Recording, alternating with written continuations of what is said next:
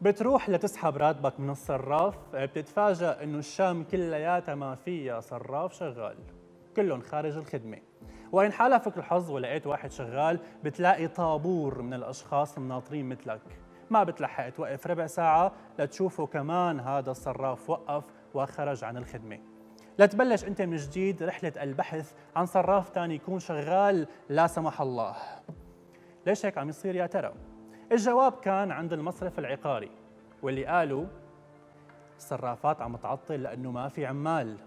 عملية تغذية الصرافات بالمصارف تحتاج 40 عامل وبالشام كلياتها ما في غير سبع عمال لكل صرافات دمشق. تخيلوا.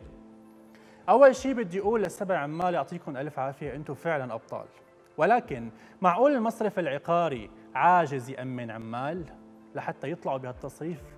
أو آسف بهالتصريح المستغرب عملوا مسابقة أنه بدنا نوظف عمال لتغذية الصرافات وأنا بأكد لكم أنه بيقدم علي أكثر من 40 شخص برياحة.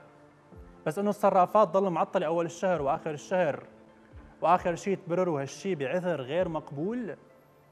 هذا العذر مثل يلي بيكون قاعد جنب نبعة مي وبيقول لك أنا عطشان. بس اسأله طيب ليش ما بتشرب؟ بيقول لك إيه ما في كاسة.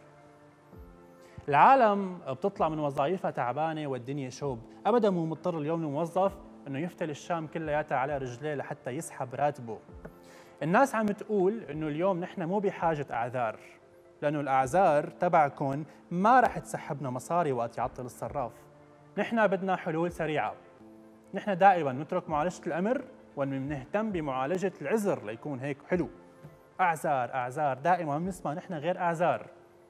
يعني نحن شو بيهمنا موضوع إذا في عمال أو ما في؟ يعني كهرباء في ولا ما في؟ هاي الحجج والأعذار الكن. الناس ما بتسمعها.